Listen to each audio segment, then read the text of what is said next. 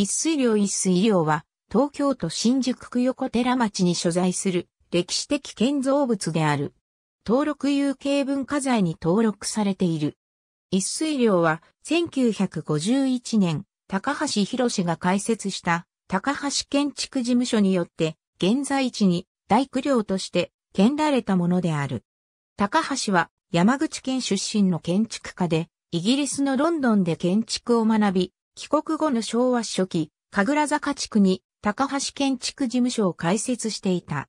一水寮は数年後、林家からのもらい火で屋根、小屋裏を焼いたが、住み込みの大工の手により復旧した。その後、数度にわたる改修工事が行われた後、大工寮から一般の貸し出しアパートへと使用目的が変更された。1990年、アパート経営を辞め、高橋博の娘婿である鈴木喜一の住宅兼建築設計事務所となり、1995年には建築設計事務所のスタッフ、学生、芸術家、編集者などの住居となる。2016年には耐震補強を含めた改修工事が行われ、現在は店舗、事務所として使用されている。